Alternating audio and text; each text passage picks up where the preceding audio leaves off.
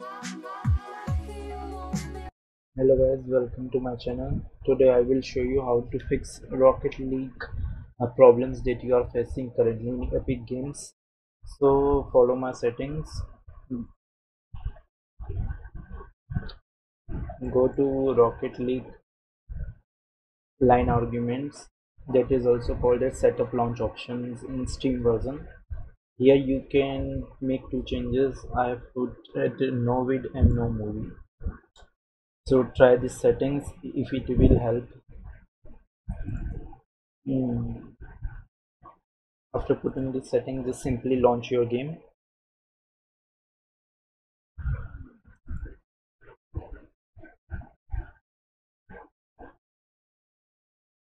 in my case it is easy launching without any problem don't try to launch in windowed mode. As I have tried once and it got failed nothing happens. Just simply I click play off and nothing happens. My Rocket League is working fine. Okay if this thing doesn't work for you don't worry I got another solution for you. You can simply try to verify the game just click on this three dot and click on verify.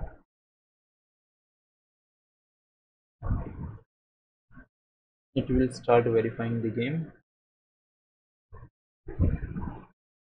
And if after verifying launch the game if it still doesn't work then go to your run command or you can press windows plus r and then if the settings type local app data percentage and then go to your, your epic games launcher folder then to saved and delete cache folder.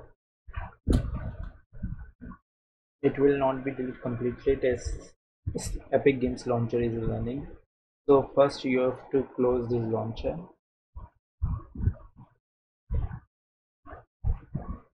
You can close this launcher by simply going on Task Manager and finding Epic Games Launcher and simply ending process. After that, you can clear web cache folder or already trying. Okay, so that folder is deleted now. Now launch your Epic Games Launcher.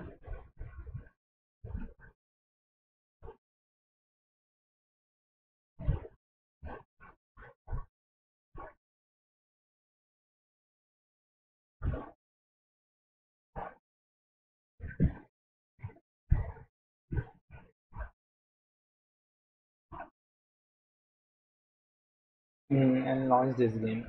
If it failed then verify it again um, if it failed again then try to verify it at least two to three times. At least two to three times.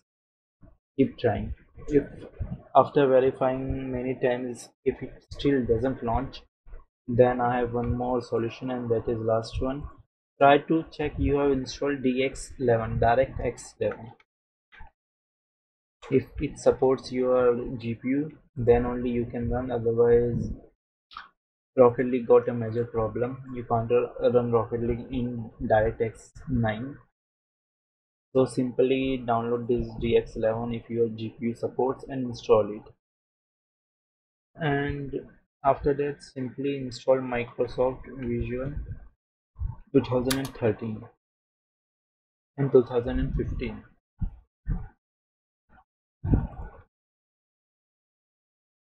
Just download Microsoft 2000 Visual C++ 2013 and 2015. After that, downloading, restart your PC and try to launch it again. You can also verify it and restart your PC, then launch the game. It will surely fix your problem as you can see. Mine is working perfectly.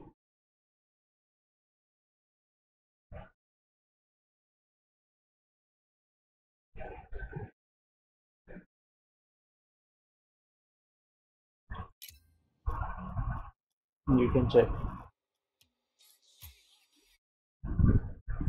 If, if you got black or white skin problem you can check out on my channel.